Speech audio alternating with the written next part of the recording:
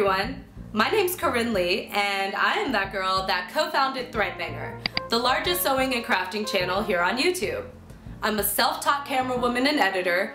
I've worked extensively in Haiti, lived on buses that run on recycled vegetable oil, and have actually been posting videos here on YouTube since 2006. One of my biggest passions is getting more women involved in the world of video making. So today I'm going to give you some pointers on how to make good YouTube videos. This is not going to be a video on how to shoot in a fancy studio or use special effects. There's already a slew of videos that exist here on YouTube to learn those types of things. This is going to be a video on how to shoot and upload simple videos from your home. Alright, let's get started. So, in my opinion, the two most important things in making video are sound and lighting. This may seem obvious, but over the past five years, we've received countless videos from the Threadbanger community. And I can't begin to tell you how many times we weren't able to use a video because either the sound didn't work or the lighting was so dark you couldn't even see the person.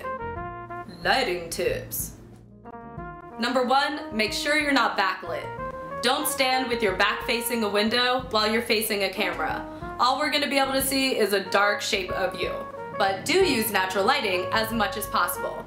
If natural lighting is impossible, say you're shooting at night or something, get yourself some $5 clamp lights and some daylight compact fluorescent bulbs.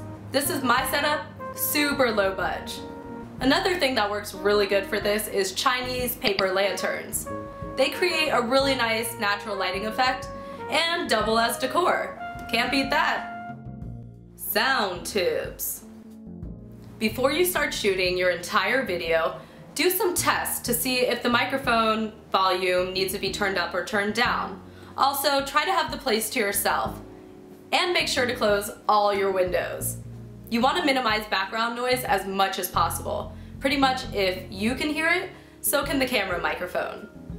If your camera doesn't have a volume control, try to get as close as possible. Not like this close, but definitely close enough so we can hear you. On-camera talent tips. Being on camera can definitely be intimidating at first, but the more you're just yourself, the more people are going to be able to relate to you. With that said, it does help to have a script or an outline of some sort, especially if you're trying to fit into a certain time constraint or are doing a how-to style video like this one. Camera tips. Since you're just starting out, there's no need to go out and invest in a crazy expensive camera right off the bat. There's plenty of inexpensive cameras that'll get the job done just fine. Even your computer camera will work great if you're just wanting to talk and stuff. I use my iPhone to vlog all the time. The footage you're seeing right now is being shot on a DSLR, which is a, a higher end camera. I actually have the lower end of the camera, which is a Canon T2i. Again, don't go out and invest in a fancy camera right away. Test out your skills some, make a couple videos, and if this is something you're really passionate about doing, that's when you want to get a little bit nicer of a camera. Editing tips. I've been using Final Cut Pro since the beginning of my video making career. I was lucky enough to get my hands on a free copy of it back in the day, and if you can get your hands on a free copy of it, do it. Some other free editing software is Wax and Avid DV. But with all these programs and interfaces, it's gonna take some playing around to really get used to it. You're not gonna be a ninja editor your first go around, so don't be so hard on yourself. And, you know, as with most things in life, the more you practice, the better you're gonna become. Uploading tips. Alright, now you're ready to upload your video. You wanna make sure your title's catchy, you have thoughtful tags, and the description of the video has all the keywords that represent your video.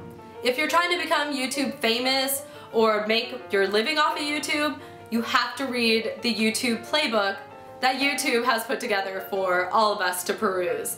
You can find it at youtube.com slash playbook. Read it. Thank you so much for watching, and I'll see you around the interwebs.